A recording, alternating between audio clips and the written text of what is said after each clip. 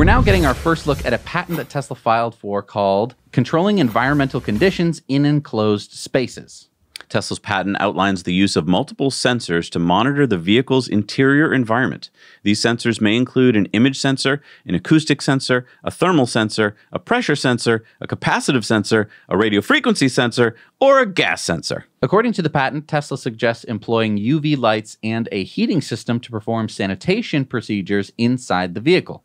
Now, it wasn't clear to me what tech Tesla would use to sanitize the car, except that the patent mentioned the car would do it automatically. It said it would also drive to an area with Tesla Optimus robots who would aid in the cleaning. This is great news. It shows that Tesla is already thinking ahead of everything that it takes to have autonomous robotaxis. Because, of course, when you have people get into your cars, they make messes and you got to clean them up. Hey, everybody. Thanks so much for watching Now You Know Clips. You can watch full episodes of Tesla Time News on Tuesdays and in depths on Fridays. Just click the link down below and head over to the Now You Know channel.